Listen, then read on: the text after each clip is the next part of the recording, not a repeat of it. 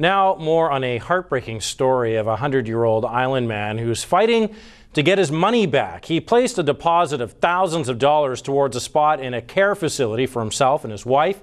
However, she died shortly before they could move in, and the facility won't provide a refund. But as time passes and more people get involved, the fight is becoming less and less about the money. Kylie Stanton brings us the latest. Do you know what Sunday is? Relaxing in his chair while finalizing the details of long weekend dinner plans. What are we doing? Is it Thanksgiving? We're Ricky Spooner is taking things day by day. still waiting, very much waiting. For nearly two months now, the 100 year old retired naval officer has been battling for an $8,000 deposit he made here to Joan Crescent Manor. But thank you all very much indeed.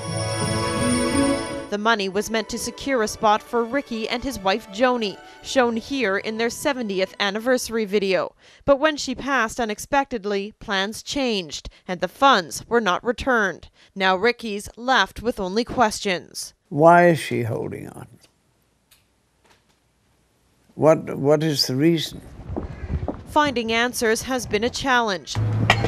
The facility has repeatedly refused to comment on the matter, prompting the provincial government to take action, instructing VHA to launch an investigation. I'm awaiting the uh, uh, the results of that. There are strict rules in place about uh, how deposits uh, must be uh, treated, and uh, we want to make sure those rules and a little humanity is being shown here. It's outrageous, it's unconscionable, and um, there's certainly something that should be done. Now others are stepping up to help. Over the weekend, Ricky received an anonymous donation of $6,000, money he's already passed on to the Canadian National Institute for the Blind. In fact, I've told CNIB to expect it.